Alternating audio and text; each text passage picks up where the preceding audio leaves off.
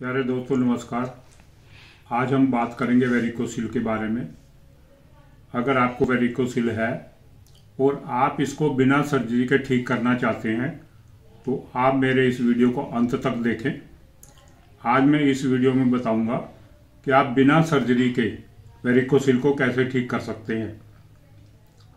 अगर आपको वेरिकोसिल हो गया है तो इसके बहुत से कारण होते हैं, चोट लगने या झटका लगने से वेरिकोसिल हो जाता है इसमें नीली नीली नसें फूल जाती है।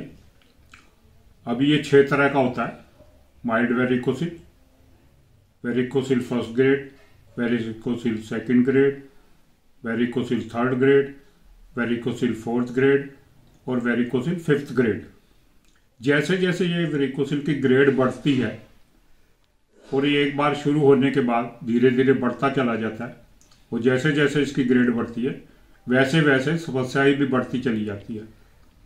इस पर नपुंसकता आ सकती है, नील शुक्राणु हो जाते हैं एजुस्पर्मिया हो जाता है, ओलिगोस्पर्मिया हो जाता है, यानी कि कम शुक्राणु हो जाते हैं, इरेक्टल डिस्फंक्शन हो जाता है प्री मैच्योर इजेकुलेशन की प्रॉब्लम हो जाती है, धीरे धीरे आपके गुप्त अंग भी कमज़ोर हो जाते हैं।